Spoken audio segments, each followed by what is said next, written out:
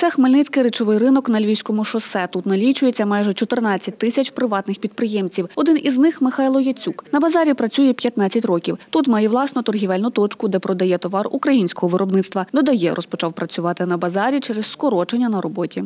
Де діватися було? А діти маленькі були. Ти мусиш йти було. Китайські такі костюмчики були, знаєте, такі без всяких, що їх тут давали всім підряд можна. І так і починали. 22 роки на Хмельницькому речовому ринку працює Олена Заржицька. Перед заняттям торгівлею жінка 10 років працювала медиком. Змінити сферу діяльності вирішила через низьку зарплатню. Склалися такі життєві обставини, що потрібно було якось виживати. На медичну зарплату це було неможливо і прийшлось повісити білий халатик і вийти на ринок. І таким чином вижити.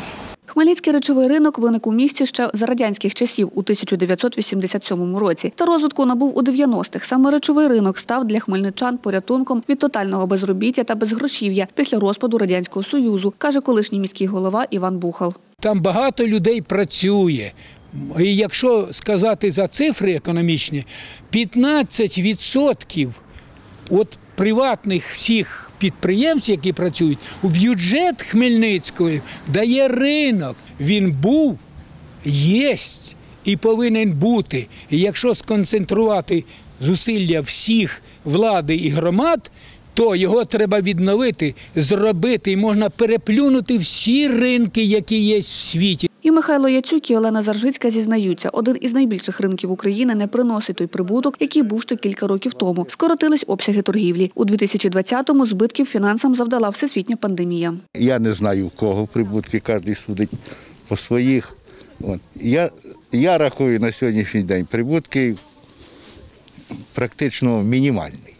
Практично. Порівняти з тим, що було, це небо і земля. Впала купівельна спроможність людей, і від того наші прибутки набагато знизилися, плюс підвищилися податки. Особливо після карантину ми всі відчули, ми всі відчули, що ми стали набагато біднішими.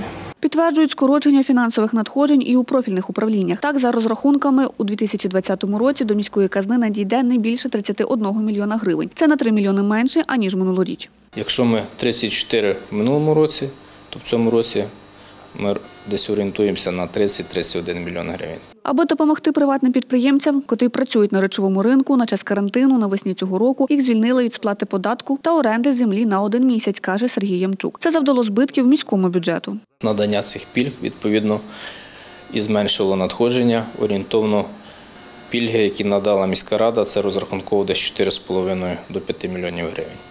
Приватна підприємиця Олена Заржицька каже, конкуренцію у роботі на речовому ринку складають і торгівельні центри. Я не можу змагатися з депутатами, які тримають магазини. Тому що е, зрозуміло, що всі магазини, які в нас в місті побудовані, всі торгівельні центри і орендні площі, які вони здають, це не є власність простих людей. Олена додає, якщо ситуація з торгівлею на речовому ринку не покращиться, підприємницьку діяльність залишить. Не просто перекваліфікуватись, а взагалі залишити країну. Дарина Денисенко, Дем'ян Цегольник. Новини на Суспільному. Хмельницький.